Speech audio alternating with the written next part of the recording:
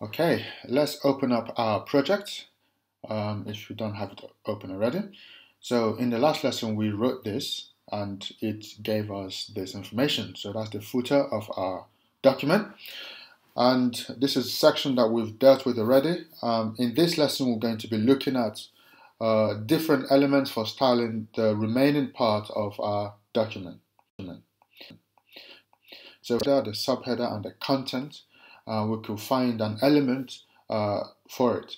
In our HTML documentation, I'm going to click on article and we can see what it says. It says the article element represents a section of content that forms an independent part of a document.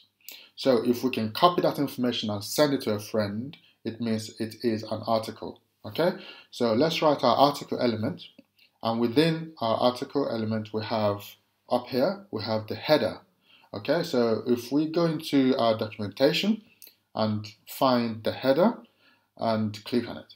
So let's read on what it says. It says the header element typically contains headings, okay, from H1 to H6, and it has the introductory material. So that's basically what the header does, introduces the article that we're about to write. So in the header, um, we could use our header element like that.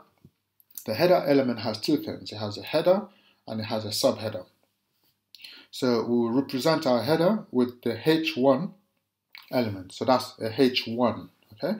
Uh, we could put the name of our document, Geology 101 report, okay?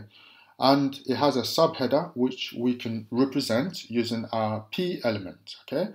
And within that, you type lorem and then hit your tab key and uh, Sublime will give you some dummy text like this, which you can reduce uh, by deleting some of it. Okay, so if we reset our page, we have this information there, which represents our header with a H1 and uh, a subheader. Okay. All right, so we have the, the main body section uh, to deal with now. If we come in here, just below the header element, we could type uh, a P element and type lorem and then tab and we have our dummy text. Copy that paragraph with the open and closing and paste it twice. So you have three different paragraphs on the page representing the body section, uh, which, which is this section here. All right, so uh, so far we have an article which has three paragraphs in it and it also has a header within it. If we reset our page, we have our document is coming along uh, nicely. We have the footer to, to look into now.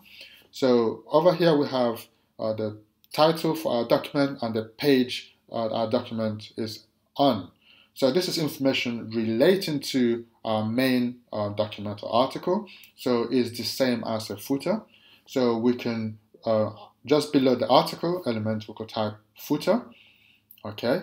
And uh, within footer we need two uh, elements that can help us style um, our footer left and right. So we have div which is there uh, for that purpose. So div is there for adding additional semantic and structure.